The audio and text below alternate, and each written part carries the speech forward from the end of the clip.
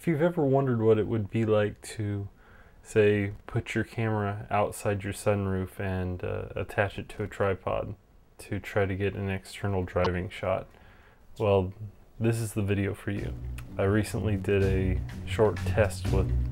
uh, my 7D through the window attached to a tripod to see what kind of footage I would get with that setup.